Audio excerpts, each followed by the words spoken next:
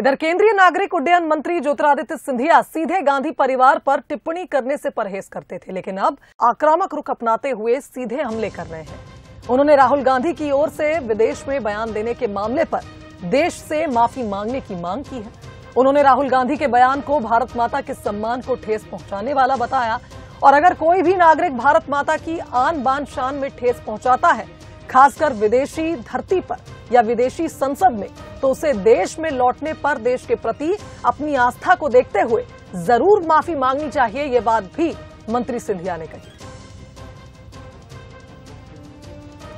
भारतीय नागरिक, अगर भारत माता और इस भारत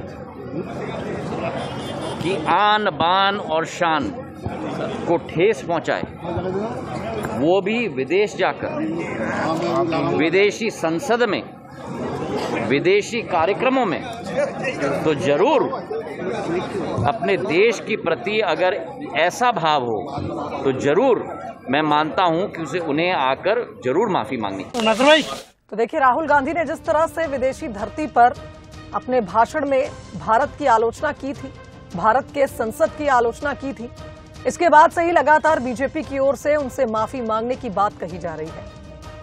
बीजेपी के दिग्गज नेताओं का कहना है कि माफ़ी मांगनी चाहिए राहुल गांधी को। जिस तरह का बयान उन्होंने विदेशी धरती पर अपने देश के लिए दिया।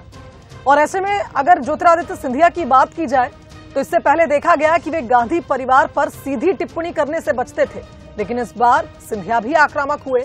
उन्होंने भी राहुल गांधी के बयान की निंदा की।